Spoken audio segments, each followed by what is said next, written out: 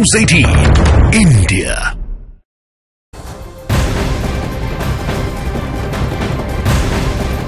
और बड़ी खबर आपको बता दें, लालू प्रसाद यादव से पूछताछ करने के लिए एनफोर्समेंट डायरेक्टोरेट की टीम पटना पहुँच चुकी है। नौकरी के बदले ज़मीन घोटाला मामले में सुबह 11 बजे लालू यादव को पटना बुलाया गया है। ईडी की टीम आज पूछताछ के लिए लालू प्रसाद यादव के आवास पर भी पहुँच सकती है। तो लालू की मुश्किलें कम होती नज़र नहीं आ रही।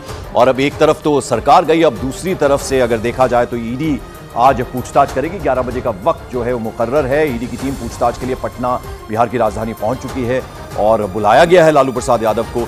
और लालू के आवास पर किसी भी वक्त जो ईडी के अधिकारी हैं कौन कौन से ऑफिसर्स हैं अब इस पर नज़र रहेगी। नौकरी के बदले ज़मीन घोटाला मामले में लालू यादव से बाकायदा पूछताछ होनी है और इसके लिए लालू प्रसाद यादव को आज बुलाया गया है। तो पटना में आज एनफोर्समेंट डायरेक्टरेट की टीम पहुँच चुकी है और किसी भी वक्त वो, जो लालू प्रसाद यादव का आवास है, वहाँ पर पहुंचेगी। 11 बजे का वक्त तय है, जब ये पूछताछ होनी है।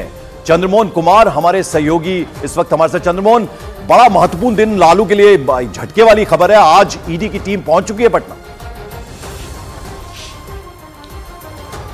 बिल्कुल देखिए, और 11 बजे का वक्त है जब लालू यादव जो सूत्रों से जानकारी मिली है, उसके मुताबिक ईडी दफ्तर में पहुँच सकते हैं। हम ईडी दफ्तर के बाहर ही मौजूद हैं। लैंड फॉर जॉब का मामला है, जिसमें लालू यादव रेल मंत्री रहते हुए अपने करीबियों और कई ऐसे लोग हैं जिनको देश के कई हिस्सों में स्टेशनों पर फोर्थ ग्रेड की नौकरी दी गई और उसके बदले उनके परिवार के लोगों से ज़मीन लिखा ली गई है। और इस मामले में लालू यादव, राबड़ी देवी, मीशा भारती, तेजस्वी यादव और हेमा यादव का नाम है, जिसमें लालू यादव को आज ईडी की टीम पटना में पूछताछ के लिए बुलाई है और अगर लालू यादव यहाँ पर 11 बजे के करीब पूछताछ के लिए जो उनको बुलाया गया है नहीं पहुँचते हैं तो हो सकता है कि ईडी की एक टीम लालू यादव के घर पर जा सकती है जो उनसे वहाँ पर पूछताछ करेगी। हालाँकि अभी जो जानकारी मिली है उसके मुताबिक लालू यादव तकरीबन ग्यारह बजे के करीब यहाँ ईडी दफ्तर में पहुँच सकते हैं।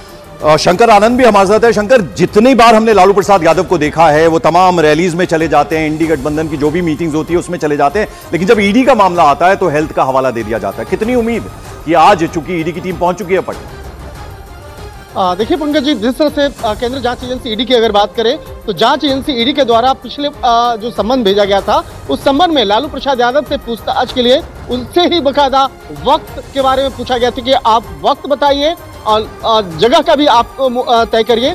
जहाँ आप कहेंगे, आपसे जाकर के जाँच एजेंसी की टीम पूछताछ करेगी। तो लालू प्रसाद यादव के कहने के बाद उनके मुताबिक ही यह वक्त भी मुकर्र किया गया है और जगह भी मुकर किया गया है। लेकिन जाँच एजेंसी की टीम कहना था कि हमारा जाँच एजेंसी की जो टीम है, वो आकर के आपसे पूछताछ करेगी। तो निश्चित तौर पर कहा जा सकता है कि आज की यह पूछताछ कई मायनों में बेहद महत्वपूर्ण होने वाली है।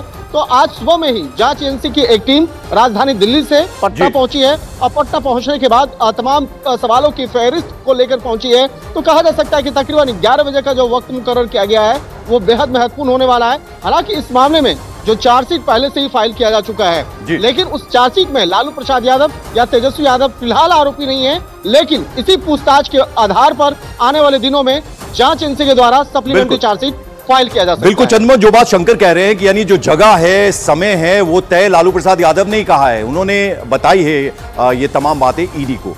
अब ईडी के अधिकारी पहुँच चुके कौन कौन से ऑफिसर्स आए हैं?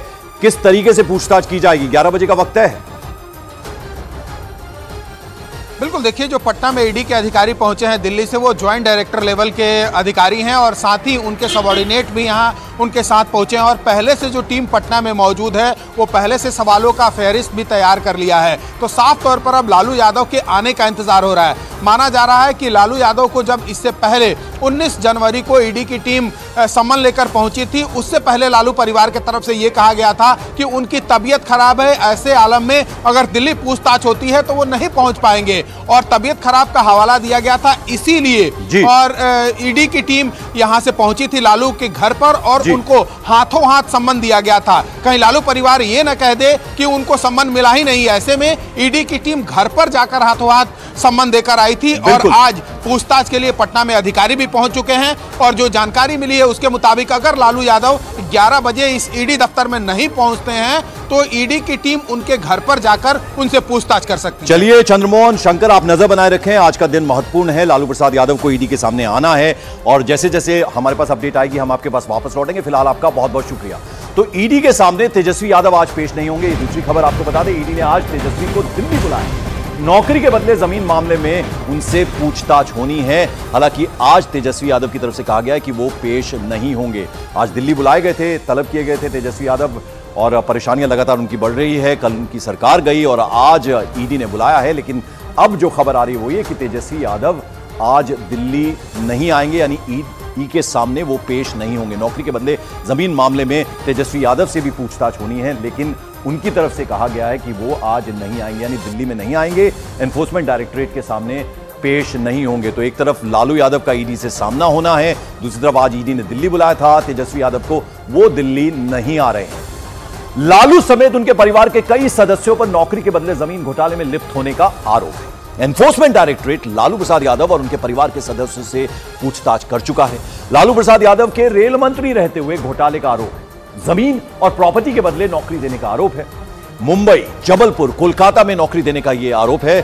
जयपुर और हाजीपुर जोन में नौकरी देने का आरोप है। लालू प्रसाद यादव के परिवार पर ज़मीन लेने का भी आरोप है। यह एक बड़ा आरोप है। सर्कल रेट से कम कीमत पर ज़मीन लेने का यह आरोप है। उसके अलावा ज़मीन मालिक को कैश में भुगतान करने की बात भी इस आरोप में कही गई है। तो ये तमाम बातें जो हैं, वो उनको लेकर ये आरोप लालू प्रसाद यादव और उनके परिवार पर लगे।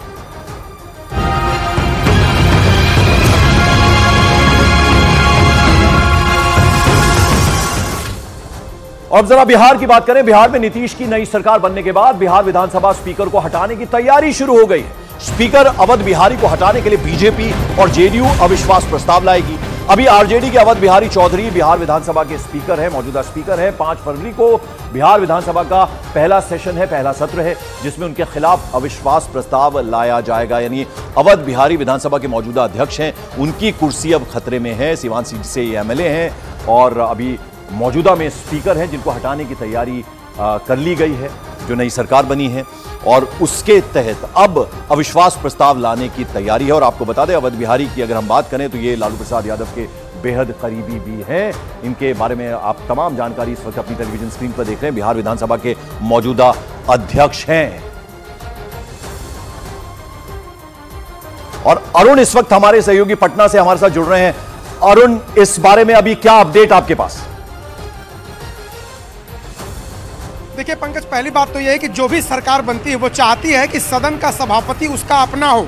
इसकी वजह है। क्योंकि सरकार जब बनती है और बहुमत सिद्ध करना पड़ता है तो कई ऐसे छोटे दल होते हैं या किसी दल में अगर फ्रैक्शन हो जाए, कोई दल के दो चार लोग टूट करके किसी और दल में जाके मिल जाए तो उसमें उनकी भूमिका सबसे बड़ी होती है और महत्वपूर्ण होती है। ज़ाहिर सी बात है, वो आरजेडी की तरफ़ से सभापति बनाए गए थे, विधानसभा अध्यक्ष बनाए गए थे, लेकिन अब जो नई सरकार बनी है तो अमूमन होता यह है कि नई सरकार के बनने पर जो पुराने सभापति या विधानसभा अध्यक्ष होते हैं, वो खुद ही नैतिक ग्राउंड पर अपना पद छोड़ देते हैं। और अगर नहीं छोड़ते हैं तो जो बहुमत वाली सरकार है, वो उनके खिलाफ अविश्वास प्रस्ताव लाती है। क्योंकि जब तक सभापति रूलिंग पार्टी के साथ का नहीं होगा, तब तक उसके लिए मुश्किल खड़ी कर सकता है, क्योंकि कई प्रावधान ऐसे हैं संसदीय लोकतंत्र की प्रक्रिया में।